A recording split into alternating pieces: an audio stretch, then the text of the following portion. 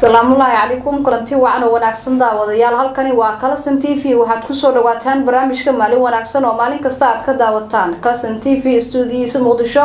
Ayaan barnaamijka idinkaga soo gudbinaa. Maalin kasta marka laga reebo maalinimada jimcada saaka waa axad taariikhdu waxay ku aadan tahay sideeda bisha kow iyo tobnaad nofembar sanada laba kun iyo labaatanka qodobada barnaamijka aad ku daawan doontaan waxaa ka mid noqonaya madaxweynaha soomaaliya oo war ka soo saaray doorashada dalka mareykanka islamarkaana hambalyo u diray madaxweynaha cusub ee wadankaasi madasha xisbiyada qaranna waxa ay war kulul ka soo saareen guddiga doorashada ee dowladda federaalk soomaaliya ay soo magacaabeen iyo qaar ka mid a dowlad goboleedyada dalka.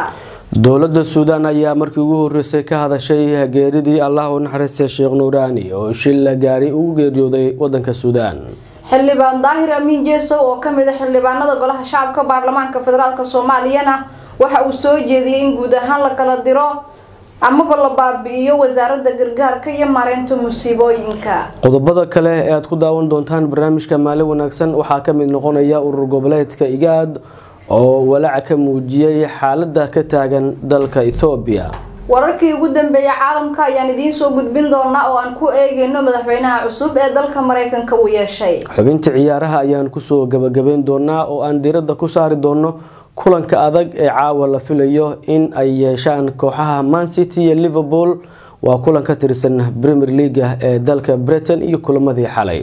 Barnaamijkan axmed xasan ibraahim ayaa soo saaray. Axmed iyo anigoo sucdi xaaji maxmed ayaa idiin tabinayna kaamiradan waxaa ka hagaya cabdimaalig axmed cali farsamada iyo habeynta barnaamijku waa mascuud ee mar kale maalin wanaagsan daawadayaal